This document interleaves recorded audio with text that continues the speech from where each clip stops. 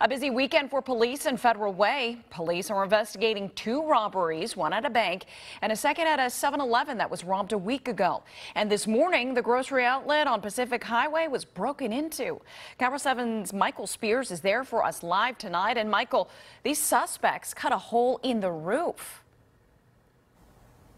With a saw, according to the owners who said they then lowered themselves into this building with pulleys. But we want to show you how they got up there in the first place. The owners say they cut a hole in this fence here and then apparently cut a hole uh, in the barbed wire as well. All of it meant to keep people out.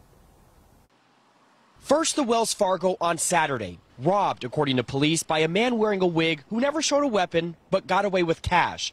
Then, early Sunday, police say people cut a hole into the roof of this grocery outlet bargain market on Pacific Highway and went after the store's safe that the owners tell us was removed from inside the store but was not stolen as the thieves apparently could not get inside. Really, it's just kind of like almost unbelievable. Chanel Kroll works nearby and said hearing about the recent crime makes her worry about her family's safety. It's scary that they're so brave now and that they, they really don't care anymore. Later Sunday morning, police say two people robbed the 7-Eleven on Southwest 312th Street at First Avenue around 11 a.m.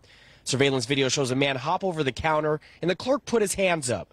Police say one of the suspects reportedly had a gun and got away on foot.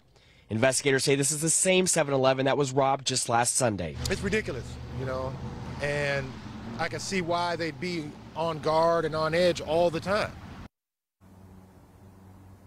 Now, police say no one was hurt in either of the two robberies, and they have not made any arrests, including here at the grocery outlet. You know, they say the suspects did disable the surveillance cameras for this robbery or break in. If you have tips that can help police catch these suspects, give police a call. Reporting in Federal Way, I'm Michael Spears, KIRO 7 News.